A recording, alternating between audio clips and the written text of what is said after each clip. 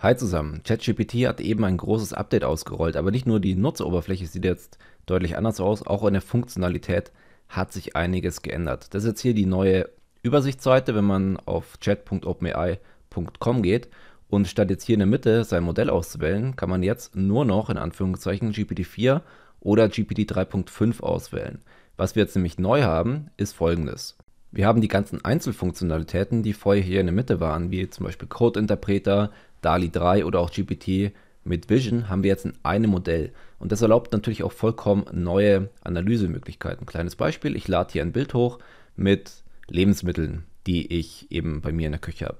Und jetzt möchte ich mir diese Lebensmittel mal auflisten lassen. Im nächsten Schritt möchte ich mir dann aus den Lebensmitteln ein Gericht erzeugen lassen, und zwar über DALI 3, also ein Bild von einem fertigen Gericht. Also liste mir alle Zutaten bzw. Lebensmittel auf dem Bild auf. Ganz wichtig, man kann nicht in einem Schritt sagen, ich möchte mir die Zutaten auflisten lassen und danach direkt das Ganze über DALI 3 erstellen lassen, sondern das muss in zwei separaten Prompts sein. So, jetzt können wir sagen, erstelle mir aus diesen Zutaten ein Bild von einem Gericht über DALI 3. So, also das sehen wir, wurde jetzt von DALI 3 erzeugt. Jetzt kriegen wir hier noch eine kleine Beschreibung. Hat noch ein bisschen was dazu gedichtet, aber wir sehen hier Oliven und so weiter sind dabei. Jetzt hat auch sogar die Marke von den Oliven erkannt, also wirklich gut. Und jetzt können wir sozusagen in einer Feedback-Schleife dieses Bild wieder von GPT mit Vision analysieren lassen. Was siehst du auf dem letzten Bild? Und jetzt können wir dieses Bild zum Beispiel nehmen, um das wieder als Input an DALI 3 zu schicken. Also wir können sozusagen jetzt anfangen mit GPT-4 eine Feedback-Schleife zu erzeugen und unser Bild so iterativ zu verbessern. Den Output von DALI 3 und auch von GPT mit Vision könnten wir jetzt verwenden, um dann über den Code-Interpreter ein PDF schreiben zu lassen. Wir könnten dann am Ende eine Anleitung eben für das Erstellen von einem Gericht machen. Und das ist eben diese Kombination aus diesen verschiedenen Modellen jetzt in einem einzigen, ja, in einem einzigen Modell sozusagen vereint. Und das macht GPT-4 einfach noch eine ganze Ecke mächtiger. Eine weitere Neuerung kann man jetzt hier unten sehen und zwar bei dem Explore-Button. Hier gibt es jetzt die Möglichkeit, dass man sich eben verschiedene Custom ChatGPTs hier lädt.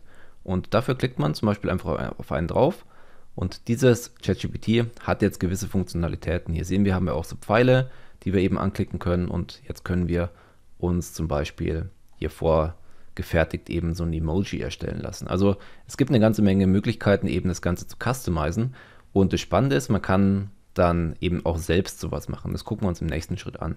Hier mal ein kleines Beispiel eben von so einem predefined ChatGPT mit eben einer eigenen Persönlichkeit und eigenen Funktionalitäten. Also eigen im Sinne von, man kann eben Funktionalitäten vordefinieren. Wie das Ganze geht, gucken wir uns am besten mal einfach jetzt an. So, und zwar geben wir auf Explore. Und jetzt können wir hier bei My GPTs hier auf den Button klicken. Und jetzt können wir im nächsten Schritt einen eigenen ChatGPT erstellen. Nur mal hier als kleines Beispiel, wir können sagen, was wir eben machen wollen.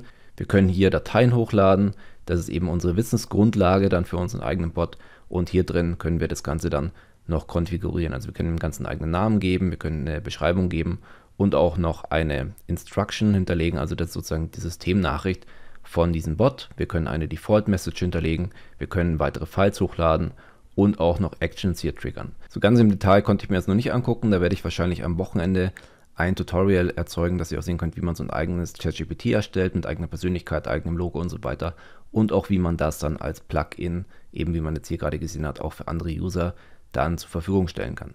Also auf jeden Fall schon mal viel Spaß beim Ausprobieren. Wir sehen uns bis bald. Ciao.